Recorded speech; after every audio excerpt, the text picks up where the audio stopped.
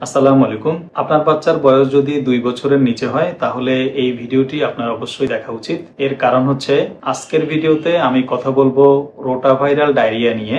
দুই বছর বয়সের নিচে বাচ্চাদের ডায়রিয়ার অন্যতম প্রধান কারণ হচ্ছে রোটাভাইরাস এক বা একাধিকবার ডায়রিয়া হয়নি, এমন কোনো বাচ্চা কিন্তু খুঁজে পাওয়া যাবে না। রোটাভাইরাল ডায়রিয়ার কিছু বিশেষ বৈশিষ্ট্য আছে, যেগুলো জানার মাধ্যমে একজন সচেতন মা বাবা কিন্তু খুব সহজেই বুঝতে পারবেন যে আপনার বাচ্চার রোটাভাইরাল ডায়রিয়া হয়েছে।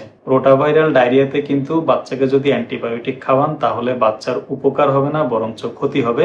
রোটাভাইরাল ডায়রিয়া সাধারণত নিজে নিজেই ভালো হয়ে যায়, তবে ভালো হতে প্রায় সাত দিনের মতো সময় লাগে। রোটাভাইরাল ডায়রিয়াতে ডায়রিয়া শুরু হওয়ার আগে এক থেকে দুই দিন বাচ্চা বারবার বমি করতে থাকে, এরপরে ডায়রিয়া শুরু হয়, পায়খানার সাথে শুধুমাত্র পানি যেতে থাকে। কখনো কখনো পানির সাথে মিউকাসও থাকে, যেটাকে বাংলাদেশের অনেক অঞ্চলে আমও বলে থাকে। রোটাভাইরাল ডায়রিয়াতে বাচ্চার জ্বর থাকতে পারে, তবে জ্বর সাধারণত একশো দুই ডিগ্রি ফারেনহাইটের নিচে হয়। আমি আবার বলছি, রোটাভাইরাল ডায়রিয়াতে আপনি যদি বাচ্চাকে অ্যান্টিবায়োটিক সেবন করান, তাহলে কিন্তু বাচ্চার ক্ষতি হতে পারে। আমি অনেক দেখেছি রোটাভাইরাল ডায়রিয়াতে মা বাবারা ফার্মেসি থেকে বাচ্চাকে এজিথ্রোমাইসিন সিরাপ অথবা সিপ্রোফ্লক্সিন সিরাপ অথবা মেট্রোনিডাজল সিরাপ অথবা জক সিরাপ কিনে খাওয়াচ্ছেন। এতে কিন্তু আপনাদের বাচ্চার কোনো উপকার হচ্ছে না, বরঞ্চ ক্ষতি হচ্ছে। ক্ষতিটা কীভাবে হচ্ছে?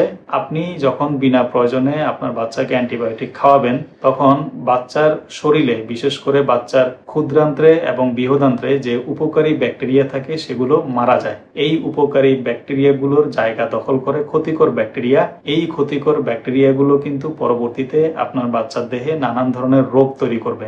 দুই নাম্বার বিষয় হচ্ছে, রোটাভাইরাল ডায়রিয়াতে আপনি যদি বিনা প্রয়োজনে অ্যান্টিবায়োটিক সেবন করান আপনার বাচ্চাকে, তাহলে পরবর্তীতে ওই অ্যান্টিবায়োটিকের প্রতি আপনার বাচ্চা রেজিস্ট্যান্ট হয়ে পড়বে। অর্থাৎ ওই অ্যান্টিবায়োটিক পরবর্তীতে আপনার বাচ্চার দেহে আর কাজ নাও করতে পারে। আমরা ডাক্তাররা কিন্তু মানব জাতির ভবিষ্যৎ নিয়ে খুব শঙ্কিত। কারণ হচ্ছে, আমাদের দেশে আমরা যেটা দেখছি বিনা প্রয়োজনে হাই পাওয়ারের অ্যান্টিবায়োটিক মানুষ খাচ্ছে, তাদের বাচ্চাদেরকেও কিনে খাওয়াচ্ছে। এরকম যদি চলতে থাকে, তাহলে ভবিষ্যতে আমরা মারাত্মক ধরনের অ্যান্টিবায়োটিক রেজিস্ট্যান্ট সমস্যার সম্মুখীন হব। তখন সাধারণ সর্দি, জ্বর, কাশিতে ভুগেই কিন্তু অনেক মানুষ মারা যাবে। কোনো অ্যান্টিবায়োটিক যেহেতু মানুষের দেহে কাজ করবে না। সুতরাং আপনি সচেতন হন, বিনা প্রয়োজনে অ্যান্টিবায়োটিক সেবন করবেন না।